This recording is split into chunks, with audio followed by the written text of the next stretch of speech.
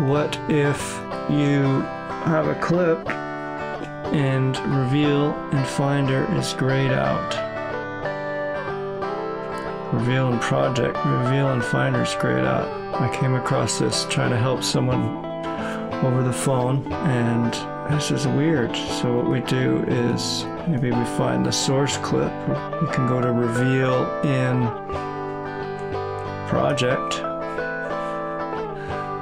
reveal and Finder and as you can see we are on a proxy only workflow. You can see that the uh, original clip is offline but the proxy is attached.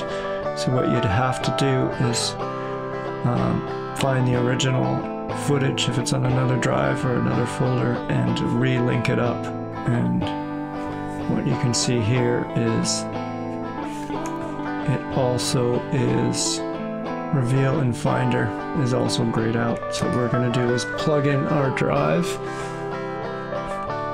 and we'll link media. We'll locate.